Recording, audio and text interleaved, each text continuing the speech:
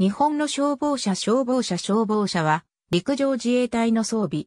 駐屯地業務隊が運用する。駐屯地に配備される大型消防車のほか、補給どころ、燃料しどころには科学消防車が配備される。ヘリコプター発着に備えて待機する消防車一般の水槽付け消防車とほぼ同じ。自治体消防に配備される消防車の CD、2型と呼ばれる4トン車ベースの車体がほとんどである。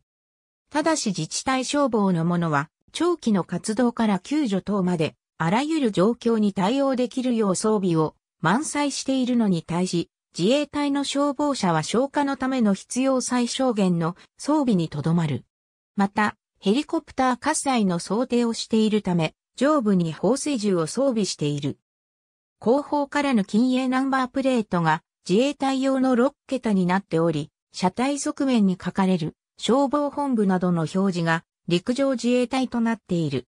建造物火災の消火作業のほか、ヘリコプター発着の際には、墜落事故発生時の初期消火、本格的な消火活動開始までのつなぎを目的として必ず待機するよう規定されており、ヘリコプターの起こす風による砂ぼこりを防止する散水車としても利用される。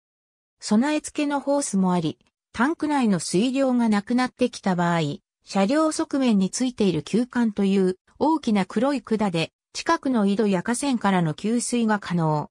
駐屯地近隣で火災が発生した場合、要請があれば、近傍派遣として出動できる。ありがとうございます。